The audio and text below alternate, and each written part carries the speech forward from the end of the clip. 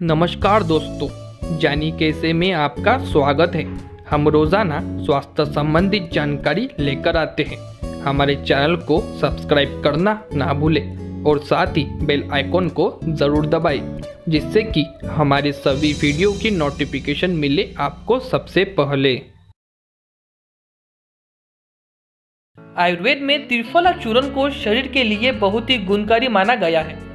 आमतौर पर लोग त्रिफला को कब्ज निवारण के रूप में ही जानते हैं, लेकिन इसके अलावा भी इसका सेवन करने से कई फ़ायदे हैं।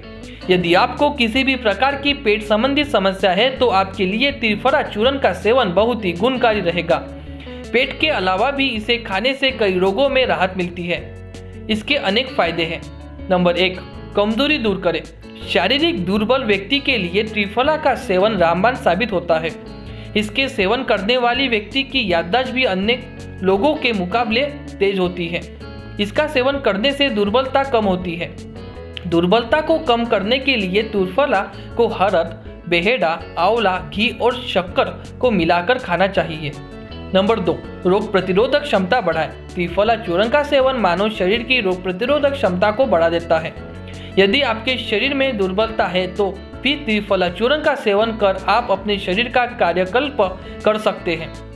लेकिन इसके लिए ज़रूरी है कि आप इसका कई वर्ष तक नियमित रूप से सेवन करें। नंबर तीन, चरम रोग दूर करें।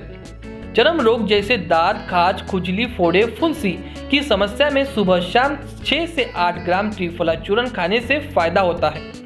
एक चम्मच त्रिफला को एक गिलास ताज़ा पानी में दो से तीन घंटे में के लिए भिगो दें।